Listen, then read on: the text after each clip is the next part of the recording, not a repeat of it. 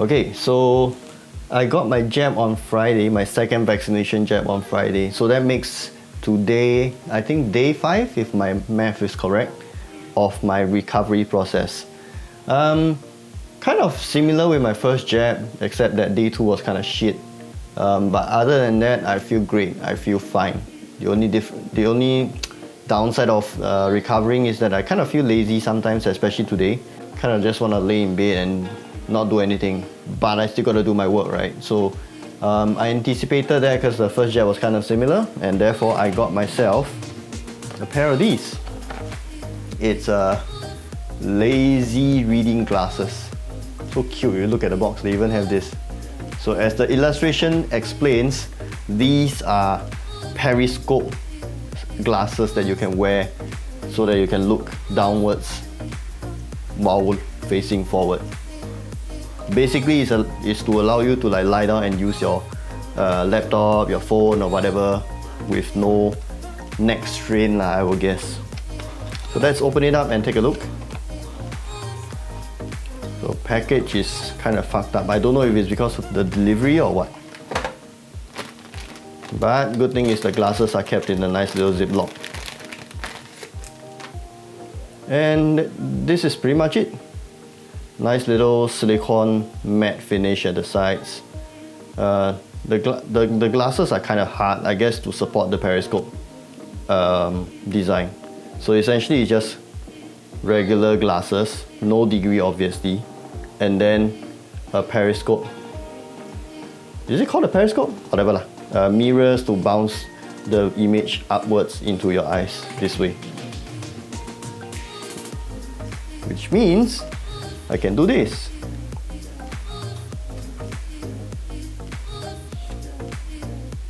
Um, there's no sizes when I ordered this and it fits a little tight around my uh, temple. So I don't know how this will feel in the long term. Okay, so I got my laptop and I got the sunglasses. I'm ready to work. Let's go. Okay, so first things first, um, the glasses aren't really sitting properly because it's a little protruding out the back of my my ears.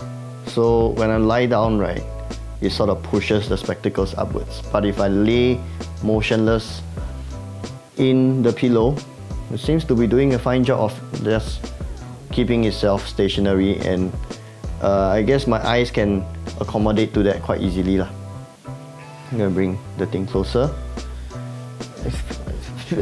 Maybe because my eyes are not fully aligned to the periscope, I can see the insides of the periscope itself, which causes like a very big white line to appear. That could also be because of the light shining in my face. Like if I block the light from shining into the periscope, right? I guess there's no white line now, but I don't know, man. That's a minor setback, I guess. I think all in all, it's pretty okay to be using this uh, as a relaxation tool, I guess. Working on it is a little tricky considering that I gotta orientate myself to this new bed. And I guess if you're lying in bed, it makes things a lot easier. So far, so good. It takes a little bit more distance to travel from there to your eyes, right? Because of the way that light bends your image actually feels smaller than in real life. Like if I look at it this size versus looking at it from here. need to help with that Fuck off. The image that you're getting using the product versus what you see in real life is gonna be a lot smaller. But that's fine because like in fact it actually makes it easier for me to look at because it's it's a smaller target area for me to focus at I guess. Yeah, I think that's the that's the best way to look at it. Oh, taking off the specs takes a little while for your eyes to adjust back to. I'm guessing because of the different focal length and all that kind of stuff. Okay, I just took off the glasses and stood up and walked around a little bit. Now I feel dizzy. I'm, I'm guessing because my brain my brain needs a little bit of time to get used to this uh, to, to adjust back to the new perspective, the way the vision connects with the mind. okay, feel better. Let's go. Okay, so we've tested the thing lying down and it seems to work pretty okay. But what about standing up? What if I want to be, I don't know, chopping vegetables but don't want my neck down? Or what if I want to do some typing work but don't want my neck down? Let's try it out and see how it goes. Ooh, this feels weird. This is really weird. This feels very disorienting.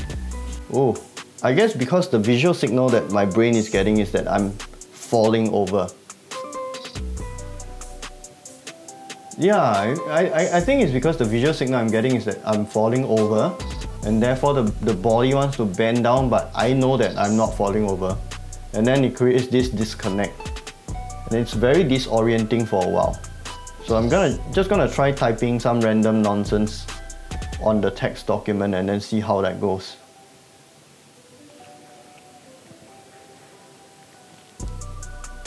Hello, my friend. How are you? Um, still a little disorienting to use. Still kinda weird to be typing. Yeah, this feels very um, non-intuitive. I'm gonna try holding it up and see if it helps. Plus I'm sweating a bit and it's kind of slipping downwards, which is super annoying. Still kind of weird to be typing this way. What if I...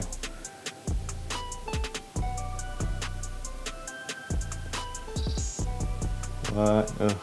Oh, hand-eye coordination is terrible with this. What if I use my hands this way?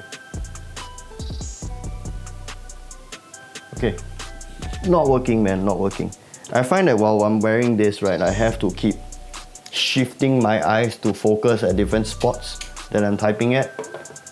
And uh, it's not the most intuitive way. Maybe with a bit more practice, I might get it to work the way it's intended. but I'm getting more of a headache than if I just held it this way. This is more natural, right? All in all, I find that it's a fun product. Probably have its own use cases, like if, again, if you're just gonna like bit and not move, that's fine. But if you're gonna be standing up and moving around, please avoid that. Why is my voice like this? please do not use it standing up. You're just gonna end up fainting, falling over, knocking into something, or at the worst case scenario, cutting yourself. So yeah, avoid that. There's a lot of like movement from your head, especially when you're standing up. And wearing this because of the way that it changes your field of view, your perspective, it's gonna cause a lot of like motion sickness. It's gonna cause way more motion sickness if you're wearing this while standing up. It's kind of weird to be. It is definitely not a one size fit all situation. I wish they kind of ha have like dials to allow you to like adjust it kind of like binoculars, but I'm guessing that that's gonna make it a little bit heavier. Go for it man, I think it's a very fun thing to be using. Yeah, I'm pretty sure at this point everyone's curious about it. It's not too expensive anyways. So if you want to try it out for yourself, link is in the description. Doesn't cost you any extra, but it'll be good for me to continue messing around and trying out weird things like this. Until then, I don't know what else I'm gonna try. That's one product off my list right now. Bye bye.